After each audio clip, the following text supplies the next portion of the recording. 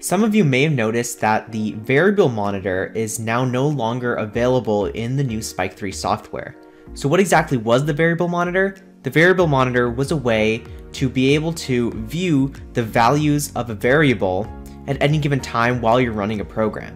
LEGO's suggestion for an alternative to the variable monitor is to use the hub's 5x5 matrix to display your variables, However, this is very limited because we can only realistically display one variable, and it is very hard to do this when your variables are more than one digit long.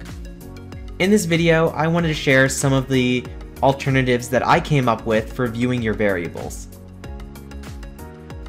I came up with three different methods of displaying variables using the line graph, bar graph, and display extension blocks.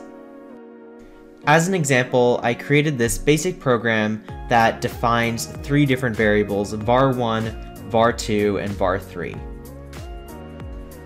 Let's start our program by just clearing the line graph and then the bar graph.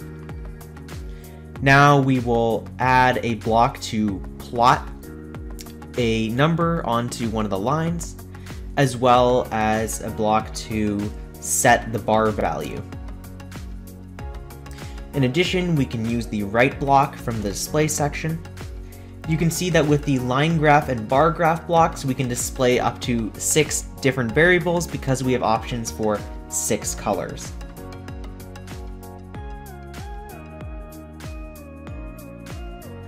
Now I'm just going to set var1, var2, and var3 to be plotted by each of these three blocks respectively. Now let's click play on this program and see what happens. You can see that the line graph is giving us a nice plot of the variable, and it even includes a history of all of the previous values of that variable since the program started running. The bar graph plots our value at the bottom of the bar. Notice that the bar is shifting up and down because the scale is changing as the values change, so you can ignore that and just read the number off the variable. And the display block is giving us the output of variable 3. Note that we can only do this with one variable compared to the other two options which give us six variables each.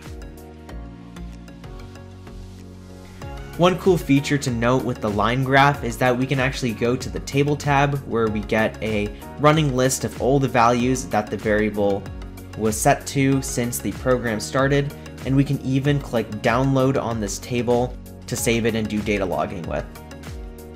One drawback with the bar graph is that once you go beyond 1000, we don't get as accurate values. As you can see, it's only going by every 0.1k. But then once you're below 1000, we get the exact value of the variable. Feel free to ask any questions you might have about Spike 3 in the comments below or on the Share and Learn Facebook groups. Hope this video was helpful and watch out for more videos on Spike 3 coming soon.